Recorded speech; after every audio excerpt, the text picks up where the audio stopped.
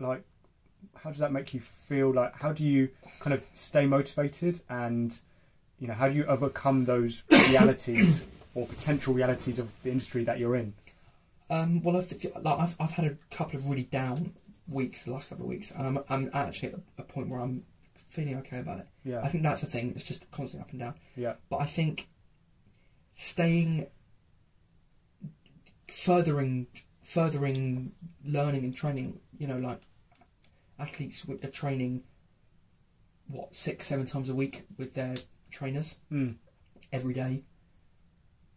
Dancers will be going to the, to the gym, going to dance classes.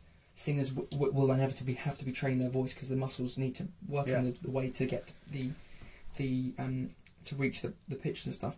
So I think it's you have you know I try to keep busy by doing workshops and stuff and that's why I like the teaching because it keeps me creatively engaged because I'm looking for what's not working and so- how Mm. what isn't working. Think you know, um, I think it's doing what I know works for me to, to make sure I'm not, I'm not um, low in things like serotonin levels. So I know I need to exercise. I need to need to eat well. yeah, I get I need to get enough sleep because otherwise I'll then f- feel low and then the fact that I'm not working or not doing this I Mm. feel lower and then it's like a you know spiral. spiral. That also requires a lot of dedication.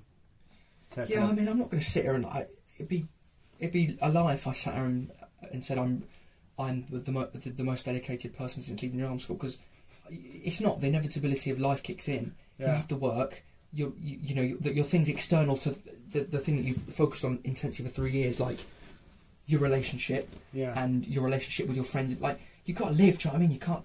absolutely. You know, if I was getting up and doing a vocal warm up at eight every day, going to work, and then doing some kind of monologue learning, like y- you could be doing that for five years, still not get a job, and be like, "Well, I've fucking wasted five years," and you know what for?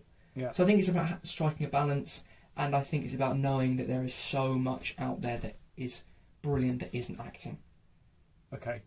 I- What do you mean by that? So, so there's so external. there's so much more to life. Okay, yeah. I love it, and I really, really do want to do it, and I really hope I do well in it. hmm But I have to remind myself that there are brilliant things in my life already. So it's just being satisfied and being content with what you already have. Yeah, which is very difficult because as, as an artist in whatever capacity that is, you you put everything into it. You you want it so much, and you don't want to do anything else but it. Mm. So the the risk is that it becomes so consuming that when you haven't got it, what's the point? Life's Mm. shit. Yeah, So it's about it's about trying to I think know everything else in your life that is that is good, and knowing that hopefully my time will come. absolutely. And that feels like a very, very